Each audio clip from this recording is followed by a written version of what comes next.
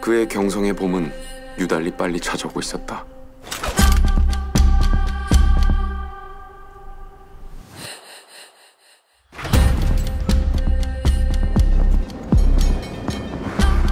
건배!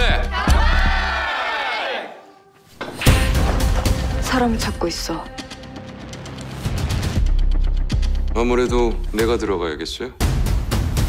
어딜? 공석병원이요. 언제까지 찾으면 되겠어?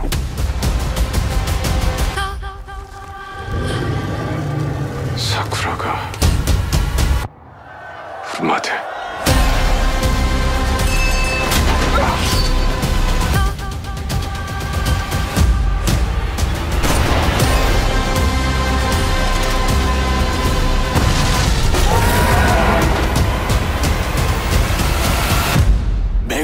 탄조다.